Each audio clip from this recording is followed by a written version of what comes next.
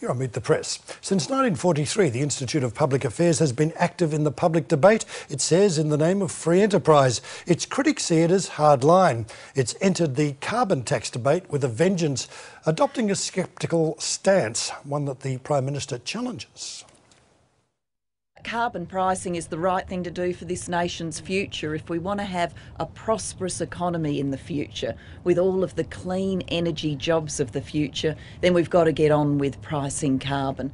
And it's welcome to the program, IPA Executive Director John Roskam. Good morning, John. Good morning, Paul.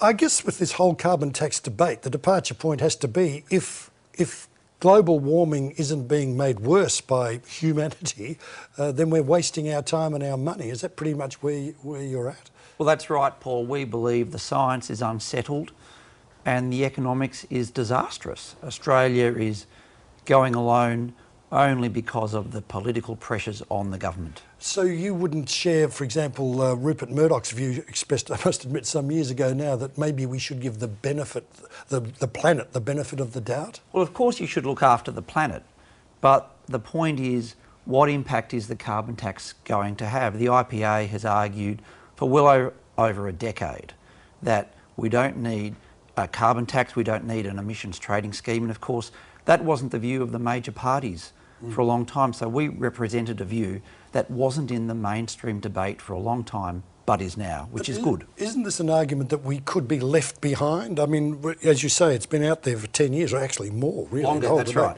Uh, uh, others are moving. Uh, doesn't Australia have to start moving in some way or other? No. Australia relies on cheap energy for our productive economy. The Chinese are going to continue to be pumping out carbon emissions. The Europeans are not doing much, the Americans are backing away.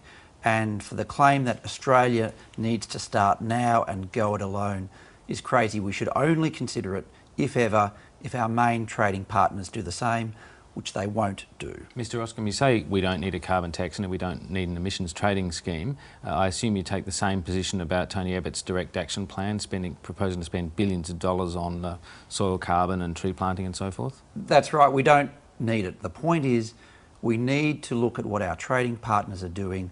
Australia relies on clean, cheap energy. And the point is that if we're going to do this, we are going to devastate the economy as the unions are now recognising, as many people in the Labor Party are now recognising, and as now fortunately the public debate is moving towards that position. Mr Roskam, that, that was exactly the argument that was mounted against both attempts to bring in a, a, a mining super profits tax, which is still unsettled. Uh, the threat was that, that, that investment would collapse, that confidence would collapse in the mining sector. That clearly hasn't happened. why should it be any different this time around? Well, the point about the mining tax is that it has impacted on global confidence in the Australian economy. We saw the head of uh, Anglo American, for example, coming out and saying that uh, a number of projects are now under threat. The point is. That's not an ambit claim? No. The point is the Australian economy is booming. And what we need to do is to secure that productivity, and you don't do it by whacking on a whole new series of taxes. Do you, do you think there will be pressure back on Tony Abbott to ditch his direct action? I mean, there's a logic to what you say. Uh, uh surely that logic would have, would, would have to, uh, certainly the penny at least, would have to drop within, within the coalition. Well, there, there may be, Paul. And the point about direct action, however, is that you can modify and change it and not and drop it if necessary. Mm. It's not like a carbon tax which is a slug on the entire but economy. That, but that's a pretty perverse position for a free enterprise organisation to take, that uh, you, pr pr you prefer direct action, that is spending of taxpayers' dollars by a government in particular areas of the economy, over a market trading system. No, we don't necessarily prefer direct action. We don't prefer an imposition on families and individuals. The point is that Australia can't go it alone if our trading partners are not doing the same. And this is the point the Prime Minister hasn't really been able to, to answer that's, that's just a recipe for no one ever doing anything, though, because no country's ever going to go alone. Well, not necessarily. Australia is 1% of global emissions. But it's a de leading developed country. It's the 14th largest economy in the world, and it has a lot of power, a lot of sway in, in, in the Mark, I, the world. Mark, I wish you were right. I wish the Chinese, I wish the Americans, I wish the Euro Europeans would follow Australia's lead on democracy, on free markets, and a whole bunch of other things. But the reality is they don't. We are a small player, we are a price taker, and we need to follow our trading partners, not lead them. Mr. Roskam, you wrote a, a, very entertaining piece just recently uh, uh, analysing what a carbon tax or an ETS would do to the price of a birthday cake, harking back to that famous interview which killed off the first attempt by John Hewson to bring in um, a, a, a, GST. Um, what's wrong with a complex tax system? Isn't that a sign of a sophisticated economy? Why should it be so simple that you can explain it in one sentence?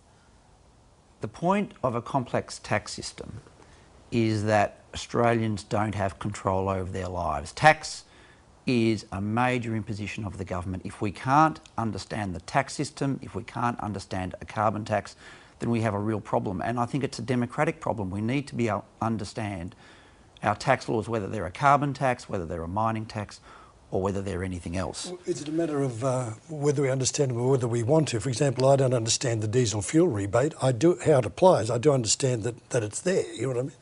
Well, that, that's right. But the carbon tax impacts on every single person and on every single thing we does in a way the diesel fuel rebate doesn't. Mm-hmm. The Prime Minister, Penny Wong, Kevin Rudd said the carbon tax is a transformation of the Australian economy.